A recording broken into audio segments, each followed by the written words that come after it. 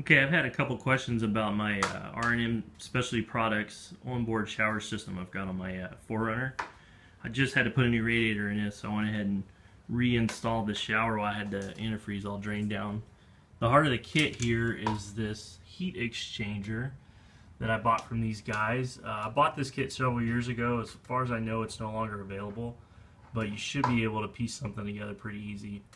Uh, with off the off the shelf parts. So, so what you've got is your heat exchanger, and what that does is it takes coolant uh, off your heater hoses and runs it through this exchanger, and also runs water through the exchanger, um, and you know through thermal transfer heats up your shower water.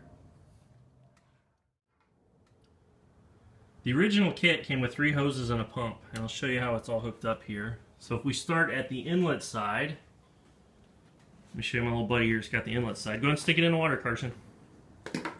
That goes down in your water source. It can be a bucket of water. Uh, I carry a five gallon uh, jerry can with water in it. It's what I usually use. Um, but I've also pulled right out of a creek before. Uh, it comes with an adapter just to be able to drop it on the bottom. So, so what you do is you pick up your water there, goes through this hose. You see the original kit came with a lot of hose. Like I said, you could put this together fairly easy. And then it comes over to a RV style pump. Comes over to an RV style pump. And this is pressure operated, so it'll build up pressure and shut off when it reaches that, that certain pressure. I don't know what that pressure is, but like I said, this is just standard RV pump. So it comes out of the pump, comes down, comes up over here, and it goes through one side of the heat exchanger. Okay, and that's where you, of course, your uh, the magic happens where it turns a hot coolant into hot water and it comes down the other side here down this hose. And on this hose I've got an in uh, got a, basically just a shower adapter. Let me see that buddy. Got a shower adapter here. So one way it's on and then one way it shuts off. So that way you know when you're out you don't you don't have to use a lot of water. You can shut it off uh, soap up do whatever you need and then uh, rinse off when you're ready.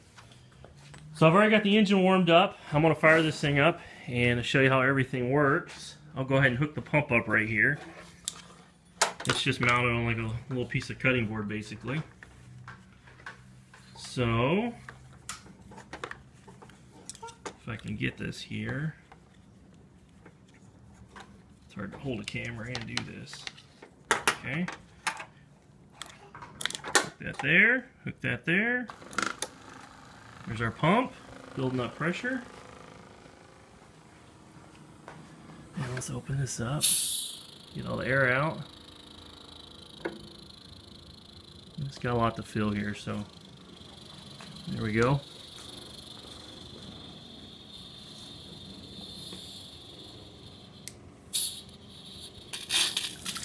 There we go. You see once it's going, it's actually got some good pressure. Okay, once we shut shower head off, pump shuts off once it builds that pressure up. So, okay, what I'm gonna do now is start the truck and uh, we'll heat up some water. Okay, we've got the truck running now, so we're circulating coolant. Um, the AC controls inside the truck need to be on heat.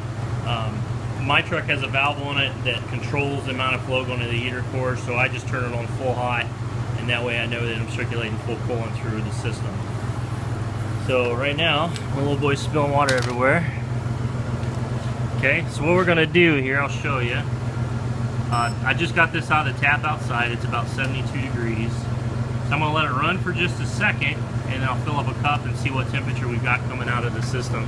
And I'll tell you a little bit about what we found out was easiest uh, to do with this.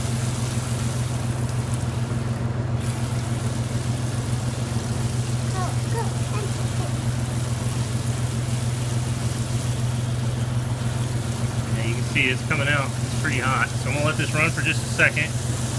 Let me get a little cup to put it in. Let me take a new temperature.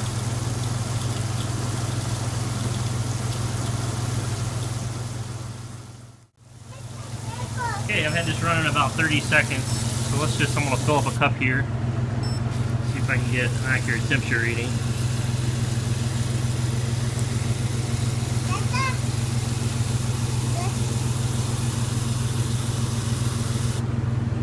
Back over there and we'll just let that circulate.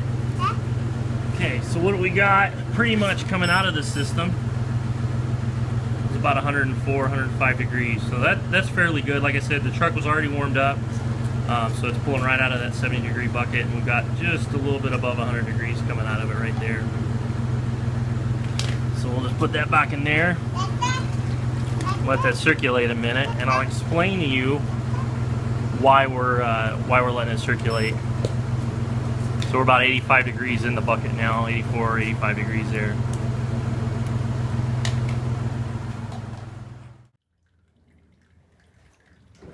So the truck's been running about 10 minutes here. Uh, I just shut the truck off. The pump's still running. That's why I see a little dribble out of the shower head. I don't have it shut off all the way. So what I want to do, the water's warm to the touch, so we're just going to do a temperature check, see. Yeah, about 115 degrees or so, 114, 115. So we're good. So what we would do at this point is just leave the truck shut off. That water will stay warm for a while. And we would take a shower. Uh, I've got a little enclosure to set up and take care of business. And it feels great when you're out in the middle of the desert and you need a break.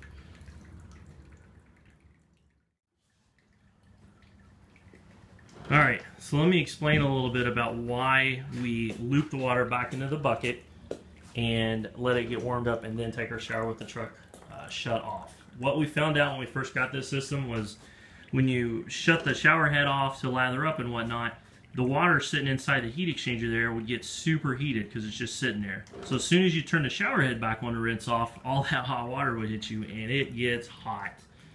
So what we decided was if you just let the water circulate there, get it up to temperature, uh, you can shut the truck off, take a nice comfortable shower, and because you're not still heating the water per se, um, it doesn't get doesn't get scorching hot on you. It, it maintains that consistent uh, temperature.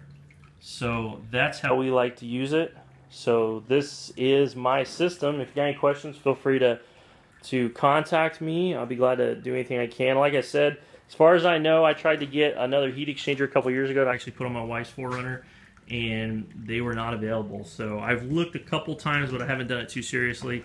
I, again, this kit would be really easy to put together. Uh, you just need a heat exchanger, an RV pump, and some hose. So um, if anybody's got a suggestion for a good uh, quality heat exchanger, I'm all ears. Uh, feel free to contact me.